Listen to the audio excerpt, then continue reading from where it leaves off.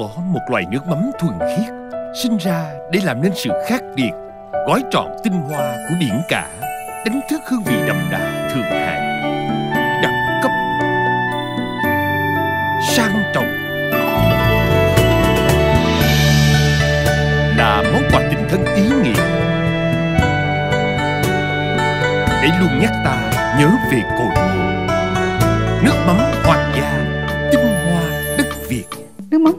hiện nay đã có mặt tại tất cả các tiểu bang trên toàn quốc Úc Châu với 3 kích cỡ khác nhau, bao gồm 250ml, 500ml và 750ml. Tại Melbourne, nước mắm Hoàng gia đang được phân phối bởi công ty Oxford Foods và bán lẻ tại các siêu thị và nhà hàng. Mọi chi tiết xin liên lạc anh Tony Bùi 0481 177 996. Xin hân hạnh giới thiệu dịch vụ rửa xe Golden Crown Car Wash Cafe tại 74 Railway Parade, Fairfield, New South Wales 2165, cách thủ phủ Cabramatta chỉ vài phút lái xe. Golden Car Wash chuyên cung cấp mọi dịch vụ về rửa xe, làm sạch nội thất và đánh bóng xe với đội ngũ nhân viên chuyên nghiệp và tận tâm. Golden Car Wash, địa chỉ đáng tin cậy cho tất cả mọi người.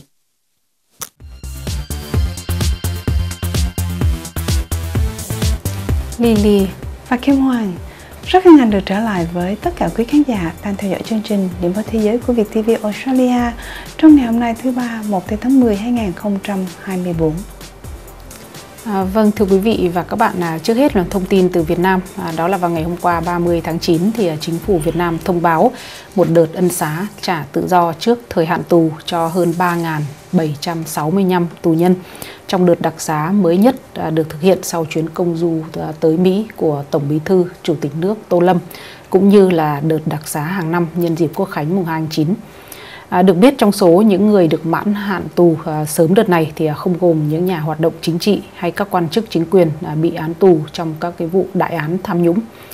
Và theo thông báo của Thứ trưởng Bộ Ngoại giao Đỗ Hùng Việt tại buổi họp báo ngày hôm qua, thì trong số phạm nhân được đặc xá đợt này à, có 20 phạm nhân mang quốc tịch nước ngoài, gồm hai công dân Mỹ và 9 người mang quốc tịch Trung Quốc.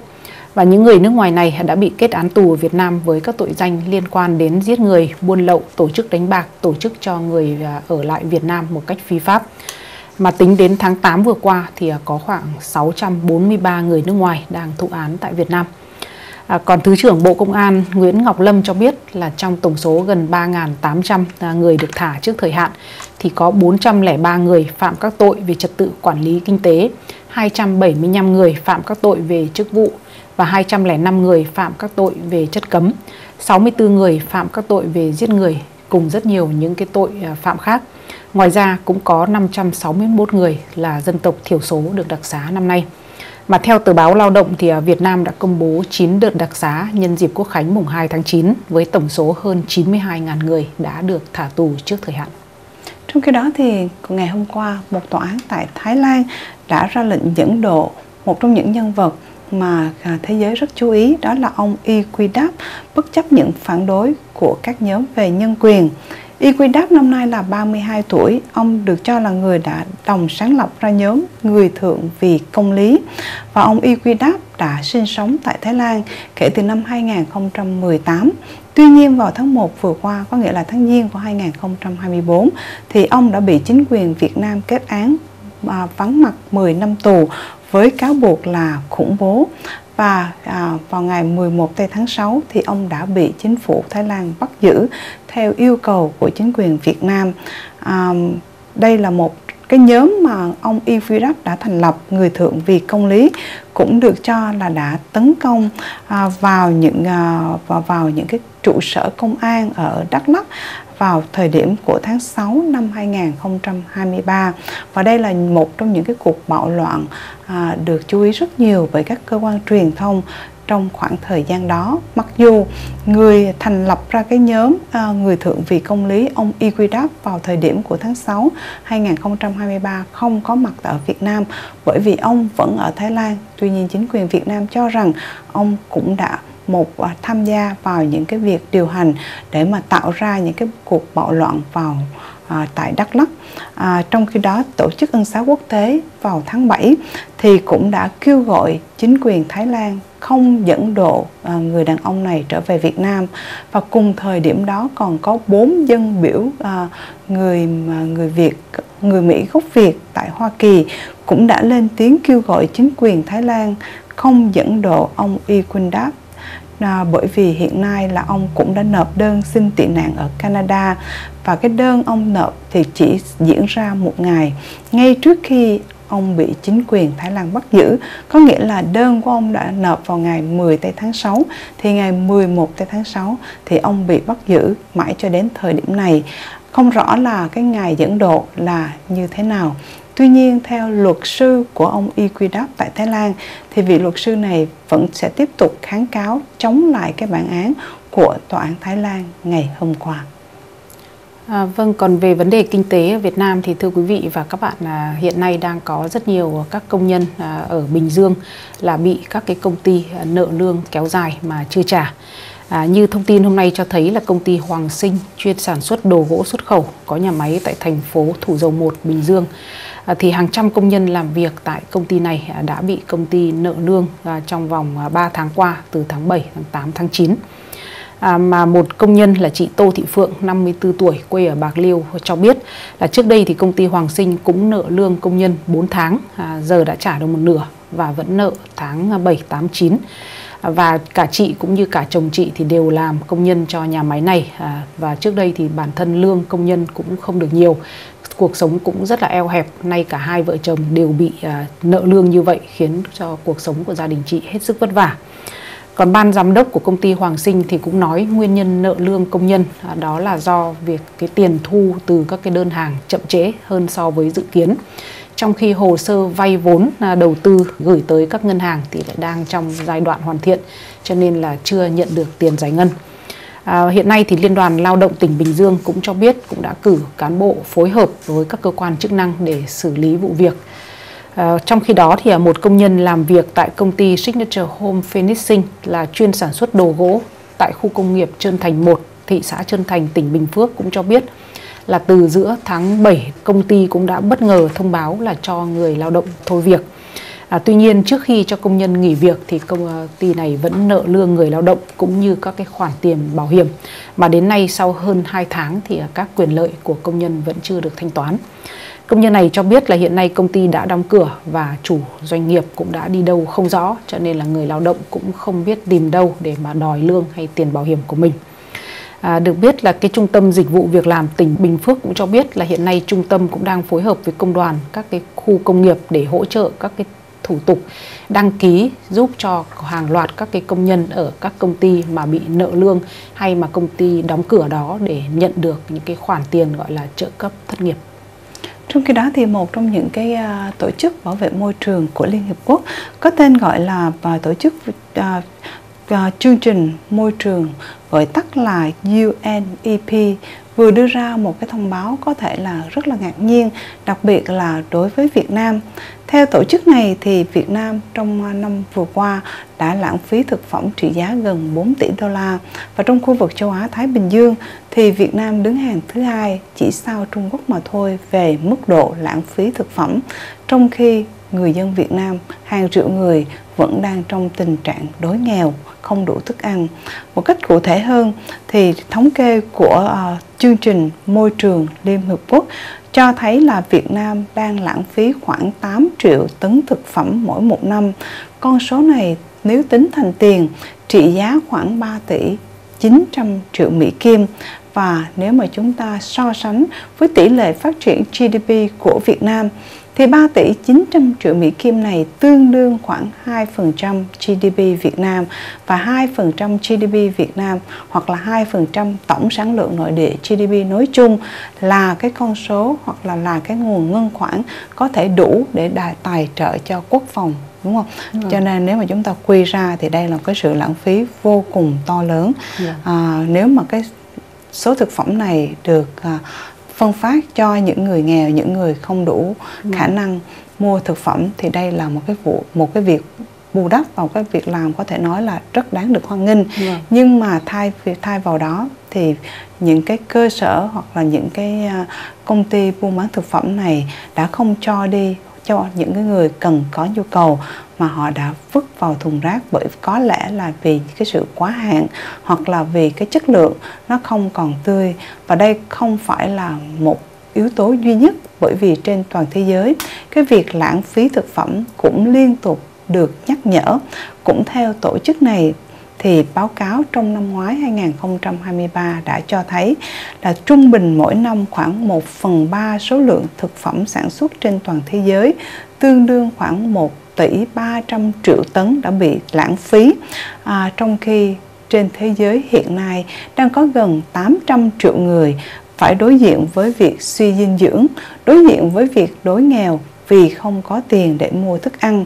Ngoài ra một cái vấn đề rất là quan trọng cái việc lãng phí thực phẩm như thế này cũng là nguy cơ gây ô nhiễm môi trường. Bởi vì với hơn 1 tỷ à,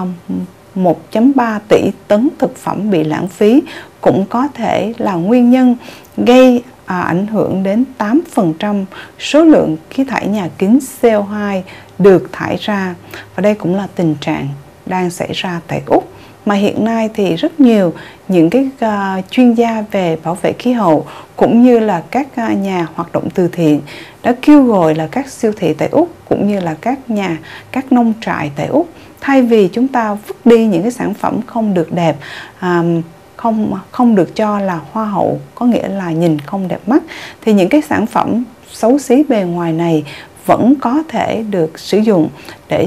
tại các tổ chức từ thiện để họ có thể tạo ra hàng ngàn những cái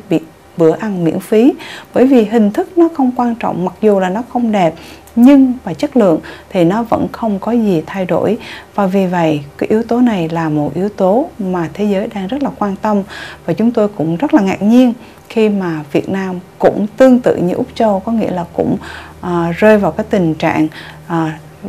thực phẩm bị bỏ rơi bỏ hoặc là bỏ phí trong khi người dân thì lại đang bị đói khổ. Vâng, chúng ta nghe những cái thông tin lãng phí thực phẩm ở Úc uh, thường xuyên qua cái chương trình điểm báo Úc Châu nhưng mà hôm nay biết được là ở Việt Nam cũng đang lãng phí một cái con số tương tự như vậy thì quả là khá bất ngờ và cũng khá là đau xót bởi vì ở Việt Nam thì uh, người dân còn nghèo hơn rất nhiều. Thật ra với cái sản lãng phí 2% GDP ở Việt Nam nó cao hơn cả cái Rất sự lớn. lãng phí Vâng. tại Úc. Vâng. À, vâng thưa quý vị và các bạn là còn về vấn đề kinh tế như chúng ta đều biết là cơn siêu bão Yagi đổ vào Việt Nam đã gây thiệt hại rất nặng nề. Mà theo ước tính sơ bộ từ chính phủ Việt Nam thì cơn bão đó có thể khiến cho à, kinh tế Việt Nam thiệt hại lên tới 1 tỷ 600 triệu Mỹ Kim do cái tình trạng ngập lụt trên diện rộng kéo dài mà đặc biệt là ảnh hưởng đến sản xuất khi rất nhiều các cái kho bãi hay nhà xưởng hay hạ tầng điện là là bị ngập úng do vậy mà ảnh hưởng đến việc hoạt động sản xuất của các doanh nghiệp.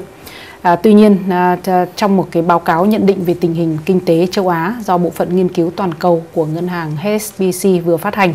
thì các chuyên gia của ngân hàng này thì vẫn giữ nguyên cái dự báo tăng trưởng à, tổng sản phẩm quốc nội tức là GDP của Việt Nam trong năm 2024 và 2025 là ở mức 6.5%.